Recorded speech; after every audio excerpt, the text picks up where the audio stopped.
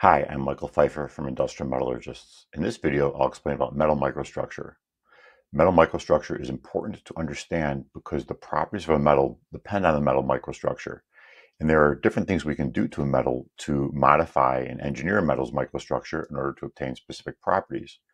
And also by understanding microstructure, we can better understand how to solve problems because we can look at a microstructure and determine whether a metal doesn't have the right composition or perhaps hasn't been processed in the proper way. So in this video, I'll take you through some examples of different types of metal microstructures. So there are various aspects of a metal microstructure that are important to us. There's the arrangement of atoms, there's the dislocations of metals, there are grains, and also metallurgical phases that are present in metals. And these various microstructure features influence the properties of metals. So the importance of microstructure is that we can uh, engineer the microstructure to obtain desired properties. So the microstructure of a metal has a direct influence on the properties of a metal.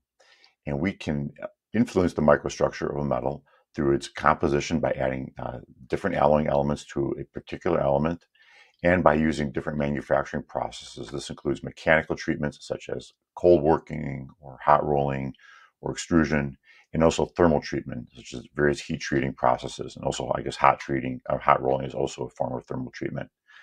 These manufacturing processes influence the microstructure, which influences the properties of metals. So by understanding the factors that influence microstructure, we can engineer the microstructure to obtain the desired properties for a particular application. And again, this involves using alloying and processing.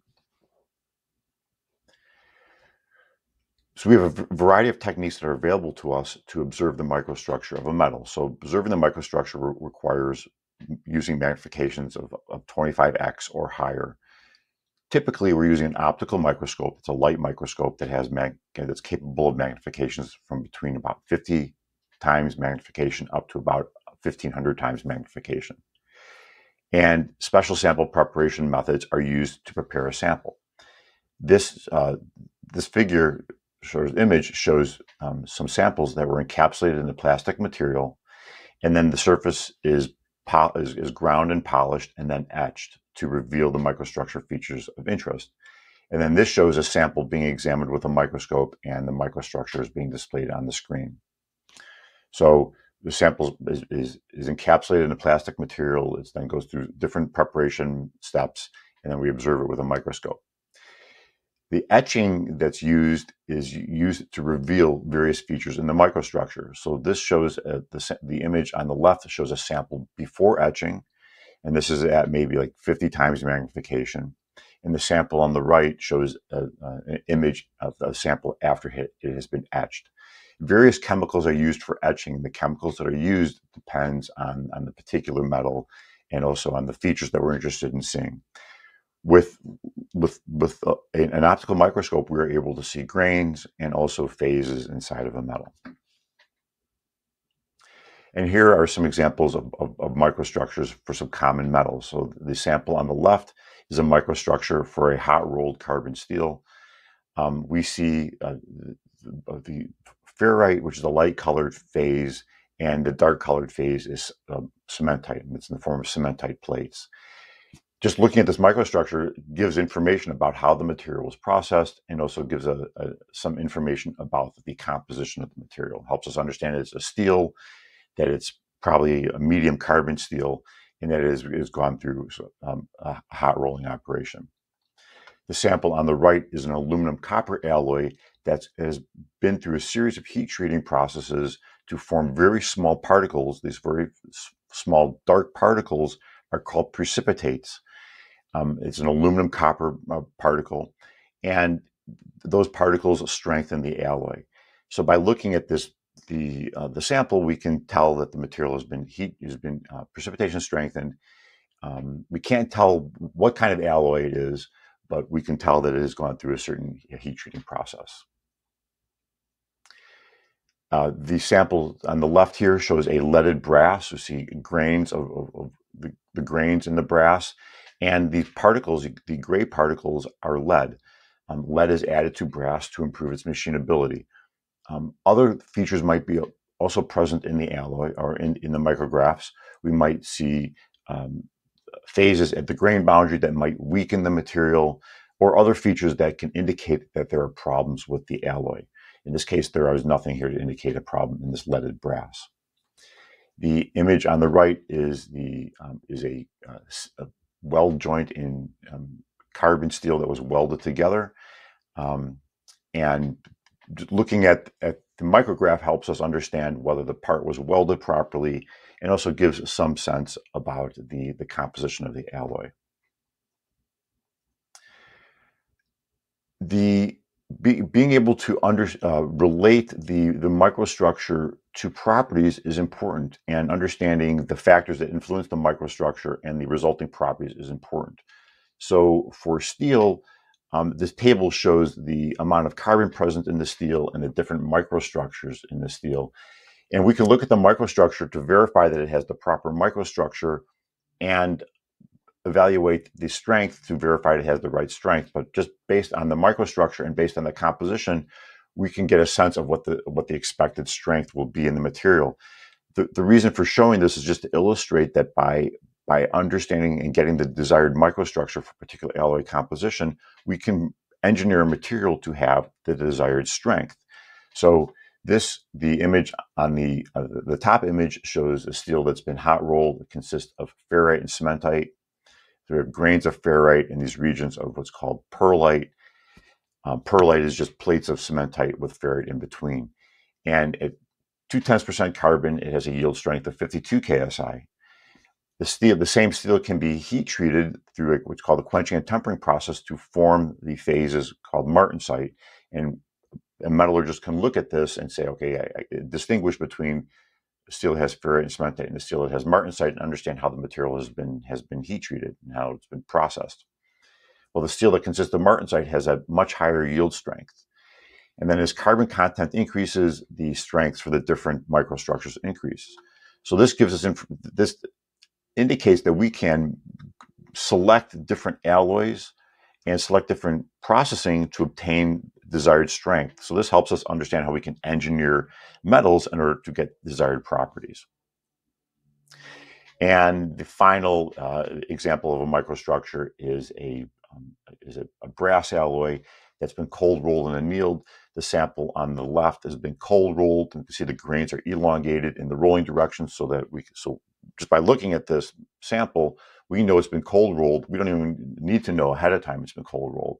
So the microstructure gives us a lot of information. And the beauty about metals is that if we ask them the right questions, they will give us they will give us the answers and, and the metals won't lie to us. So just by looking at this image, we can say the metal has been cold rolled. And the cold rolling resulted in an 80 KSI yield strength. The same sample, uh, the same metal was, was cold rolled and then it was annealed at 1022 degrees Fahrenheit for an hour. And what we see happen is that new grains formed inside of the metal. And the result was a, a, a big reduction in the yield strength of the material. A similar sample was also cold rolled and annealed at a higher temperature and got even larger grains.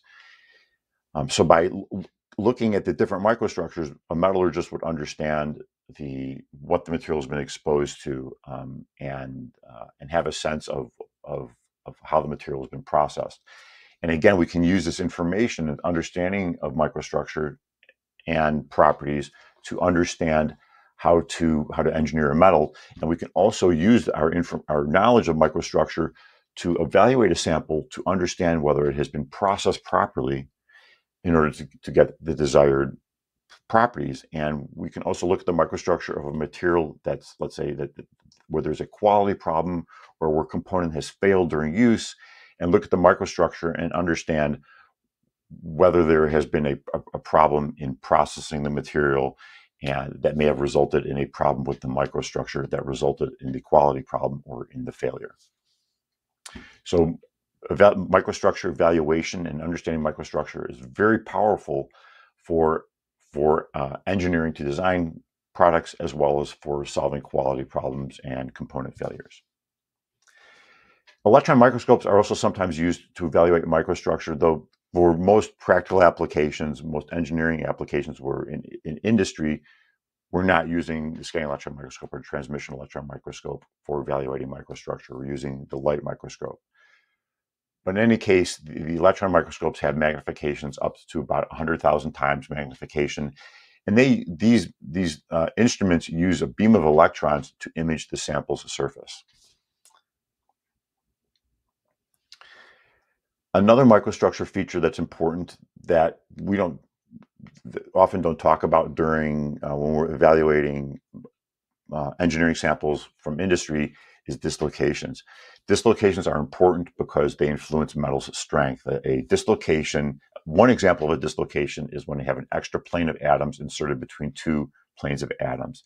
And dislocations are present in all metals. Um, and this is an electron microscope image of dislocations. These dark lines are dislocations the people who are studying dislocations are people typically at, at universities and people who are doing research. Also, crystal structure, in evaluating crystal structure is important. Um, this is also might be something that's done at universities and academic institutions and for research. And we use a, an X-ray diffractometer to characterize the arrangement of atoms inside of metals. So metals can have different arrangements of atoms some examples are like body centered cubic, face centered cubic, and hexagonal. Um, and this is used to understand the effects of processing on metals and the, uh, um, the, the, the, behavior of metals during use. Um, so th that's what I have for you in this video for, microstructure. If you're interested in learning more about microstructure and metallurgy, you'll be able to better under, be able to make better engineering decisions, have better discussions with, with customers and suppliers and other engineers, and also with metallurgy labs, and also be able to solve problems faster. We have a variety of courses, videos, and podcasts and articles that that discuss metallurgy. You can go to our website and learn more. Our website is at www.imetllc.com to see all the courses, videos, and articles that we have to offer to help non-metallurgists learn metallurgy. If you have questions or comments, feel free to to email or or call. Um, so that's it. Thanks for watching and good luck with your metals. Bye.